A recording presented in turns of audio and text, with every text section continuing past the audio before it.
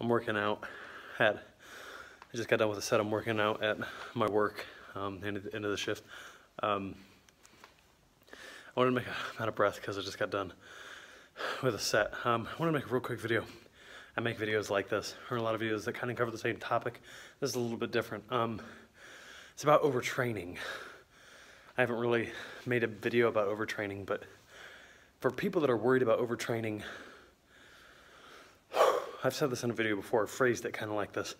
It is much harder to overtrain than you think. You know, um, I've never overtrained myself, but hearing people talk about overtraining, I can confidently tell you that I bet you're not overtraining. I just tripped on that bench.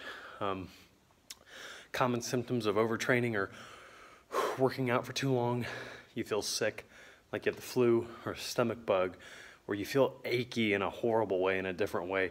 You feel like you need to go to bed, you want to puke, you don't feel right, you feel sick, physically ill. Most of you are not training hard enough to even get to that point. So, my advice to you stop thinking you're going to overtrain because let me tell you, you have a better chance of overtraining if you just go into the gym for eight hours than you do trying to overtrain. I challenge you go into the gym, try and overtrain on biceps, triceps, shoulders. Now, with legs, back, I can see that because they require a lot more energy, so you're going to be tired more easily. If you try and overtrain on a leg workout, you're probably going to overtrain because, man, with me with leg workouts, it is, you know, 12 sets and I'm gassed and done. But try it with biceps, shoulders, triceps, um, chest, the smaller muscles, um, and see if you can overtrain. I challenge you to overtrain. Um, I'll be in the gym hitting a single muscle group for an hour, uh, maybe an hour and a half, sometimes two hours. I feel fine.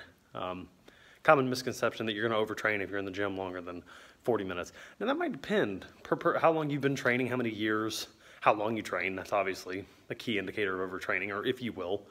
Um, but I challenge you, go into the gym, try to overtrain. Um, but I'm in the gym one body part a week, hour and a half in the gym, destroying it, and I don't overtrain. I feel fine. Um, so yeah, it is harder to overtrain than you think. Trust me.